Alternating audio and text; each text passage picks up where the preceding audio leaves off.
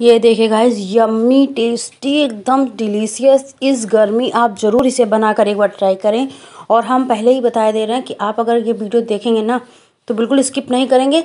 पूरा वीडियो देखिएगा, बहुत टेस्टी बहुत यम्मी रेसिपी है। और इस गर्मी में सिर्फ़ और सिर्फ़ पाँच मिनट लगेगा आपको किचन में रह करके इतना अच्छी सी डिश बनाने का। तो घर में कुछ भी नहीं है तो टमाटर से इतनी यम्मी सी रेसिपी बना करके तैयार करिए, जो कि नान पराठा, पूड़ी राइस किसी के साथ भी आप खाना चाहें ना, बहुत अच्छे से जाएगी, बहुत टेस्टी जाएगी और बच्चे तो बिल्कुल मांग मांग कर खाएँगे और आपको मेहनत सिर्फ़ पाँच मिनट की लगनी है। हेलो एवरीवन आप सबका स्वागत है हमारे यूट्यूब चैनल छाया मिश्रा में। गाइस तो देख सकते हैं, ये हमने ले लिए हैं कुछ टमाटर, जो कि हमने एकदम से रेड रेड वाले टमाटर ले रखे हैं, धो के एकदम साफ़ से पोछ लिया है और अच्छे से ले लिया है। देखिए इनको अच्छे से ले लिया है हमने पूछ करके। और ये समर ज़रूर बनाइए आप।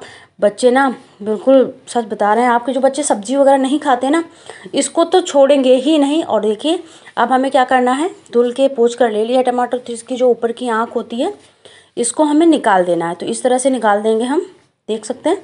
और इसको हम दो पीस में कट कर लेंगे बराबर बराबर इस तरह से देखिए ये देखिए, इस तरह से कट कर लेंगे तो सारे टमाटर इसी तरह से कट करके हम रख लेंगे।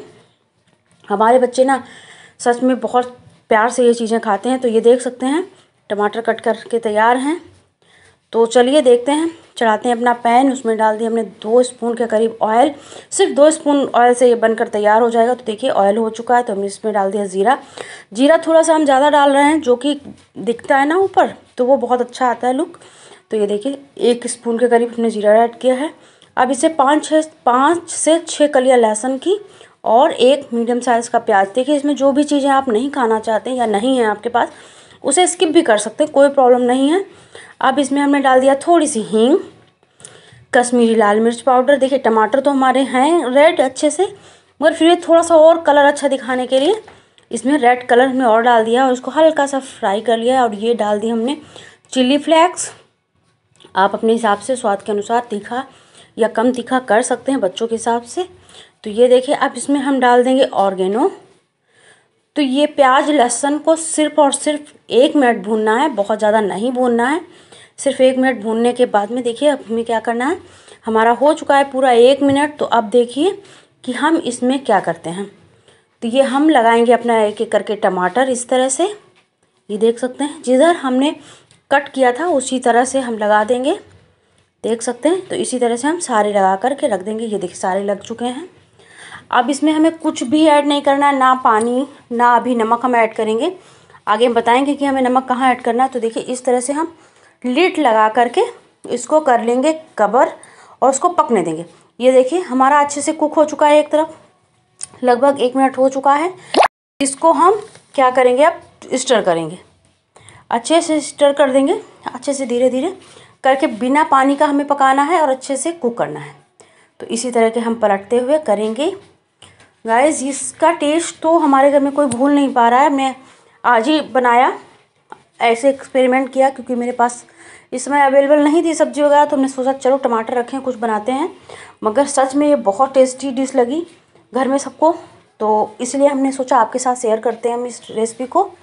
तो ये देखिए, इस तरह से हमने स्टर कर दिया सारे टमाटरों को और इसको फिर से हम कवर करेंगे। ठीक है? लिड लगा करके कवर कर देंगे जिससे कि अच्छे से कुक हो जाए। तो ये देखिए, हमारा कुक हो चुका है। लगभग टमाटरों को कुक होने में सिर्फ़ और सिर्फ़ दो मिनट लगे हैं। तो आप देख सकते हैं, दो मिनट में पक गया। तो यानी तीन मिनट हो चुका। एक मिनट प्याज लहसुन को भूनने में लगा था और दो मिनट टमाटर को कुक करने में लगा। बहुत टाइम नहीं लगा। अब इसके छिलके, देखिए, टमा, इसको ठंडा कर देंगे। ठंडा हो चुका हमारा तो ये देखिए इस तरह से हम छिलके इसको निकालेंगे, ऊपर के छिलके निकाल देंगे। तो लगभग ठंडा होने में एक मिनट लग जाएगा। तो ये देखिए, सारे टमाटरों का छिलका निकल चुका है अच्छे से। तो अब हमें क्या करना है, इसको पोटैटो मैसर से, पोटैटो मैसर से इसको मैश करेंगे। तो ये देख सकते हैं आप, छिलके हटा दिए और पोटैटो मैसर से हमने इसे मैश कर दिया है।